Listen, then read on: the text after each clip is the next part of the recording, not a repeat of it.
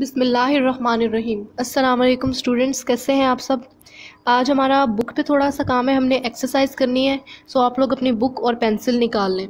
जी तो अब हम ऑब्जेक्टिव स्टार्ट करते हैं। ये मेरी बुक पे चेक हुआ हुआ है बट मिटा हुआ है तो मैं साथ साथ पॉइंटर्स लिख दूँगी। आपने पेंसिल से लिखना है, ताकि आपको नज़र आए, मैं इसलिए लिख रही हूँ, ठीक है? सबसे पहले है fill in the blanks xylem in plants is made up of long dead cell called plants के अंदर जो जाइलम होता है, जिससे पानी पौधों को मिलता है, वो लॉन्ग बड़े, लंबे और मुर्दा सेल्स से बना होता है। उन सेल्स को क्या कहते हैं? आपने पढ़ा हुआ है?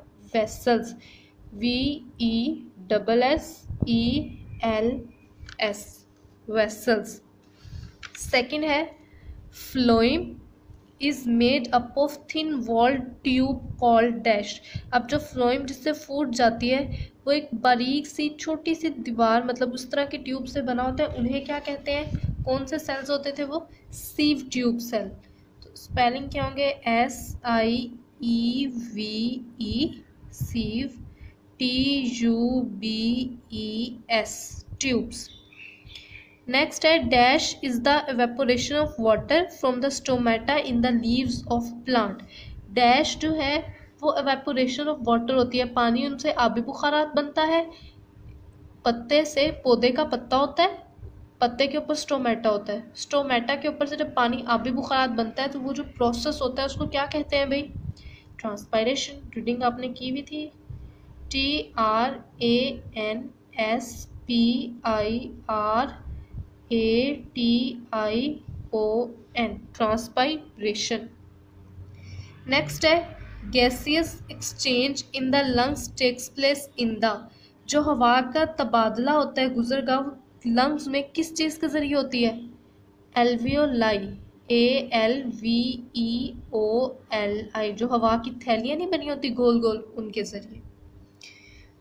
उसके बाद है a thin walled blood vessel, एक बिल्कुल पतली सी blood vessel which forms a connection जो कि एक लिंक बनाती है, जुड़ा, जोड़ती है between an artery and vein is called artery और वेन को कौन सी ब्लड वेसल मिलाती है? जो तीसरी रह गई, और वह कौन सी है? Capillary C A P I double L A R Y capillary next है हमारे पास F food is broken down जो खुराक है वो तोड़ फोड़ हो जाती है इनटू सिंपल सोलेबल सब्सटेंसेस छोटे छोटे हल शुदा मादे में बाय द एक्शन ऑफ़ किस चीज़ के अमल से? हमने क्वेश्चन में जो पढ़ा था इंजाइम्स के ज़रिए E N Z Y M E S enzymes next हमारे पास है जी डाइजेस्टेड फ़ूड जो हज़म शुदा खुराक होती है इज़ अब्जॉर्ब बाय द वो जज्ब हो जाती है by the dash found in the small intestine जो कि स्मॉल इंटेस्टाइन में पाया जाता है। वो क्या चीज़ होती है?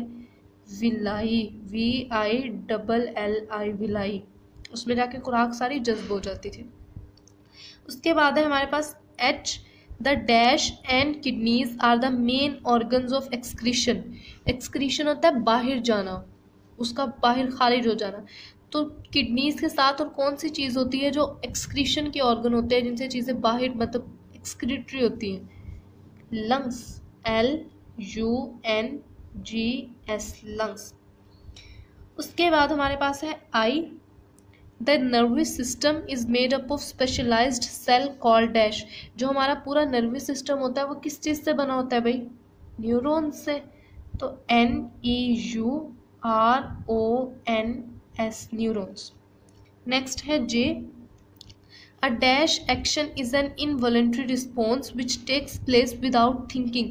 वो कौन सा अमल होता है जो गैर इरादी खुद ब खुद हो जाता है? मतलब हमारी मर्ज़ी के बगैर मतलब हम अभी उसके बारे में हम सोचते नहीं हैं। और बगैर सोचे हो जाता है। उसको कहते हैं reflex action R E F L E X ठीक है? नेक्स्ट है the path of nerve impulse is called a dash जो नर्व इम्पल्स का रास्ता होता है, उसको क्या कहते हैं? Reflex R E F L E X reflex arc A R C arc next है लास्ट हमारे पास स्नीजिंग एंड कफिंग जो स्नीजिंग और ये खांसी, नज़ला, ज़ुकाम वगैरह होता है आर एग्जाम्पल्स ऑफ़ ये किस चीज़ की मिसालें हैं भाई? रिफ्लेक्स एक्शन की। R E F L E X A C T I O N reflex action ये हो गई complete next question number three name the parts of the digestive system जो हमारे हज़म करने वाले सिस्टम था, उसके पार्ट्स के नेम लिखने हैं, कोई भी चार। तो हम लिखते हैं, सबसे पहले हमारे पास food pipe F double O D food P I P E pipe दूसरा लिख देते हैं स्टमक मैदा। वो खुराक की नाली होता है food pipe S T O M A C H stomach उसके बाद हमारे पास होता है स्मॉल इंटेस्टाइन छोटी आंत। S M A double L small I N T E S T I N E small intestine और हमारे पास लार्ज इंटेस्टाइन लिख देते हैं। एल ए आर बड़ी आंत। L A R G E large I N in T E S T I N E large intestine अब ये हो गया, आपने अपनी बुक्स पे लिख लेना है इसको और इनको कॉपी पे भी लिख के देखना है रफ कॉपी पे, और ये आपने सुनानी भी है और फिर मुझे वीडियोस बना के आपने सेंड करनी है। ठीक है जी? वेरी गुड आज की आपकी डायरी है chapter number two exercise question two and three learn और मैसेज ऑफ़ द डे है be polite and keep calm नरमी से रहें और ख़ामोशी से रहें, क्योंकि ये दोनों बेहतरीन आदत हैं, जो कि बेहतरीन इंसानों में होती हैं। अपना बहुत सारा ख्याल रखिएगा।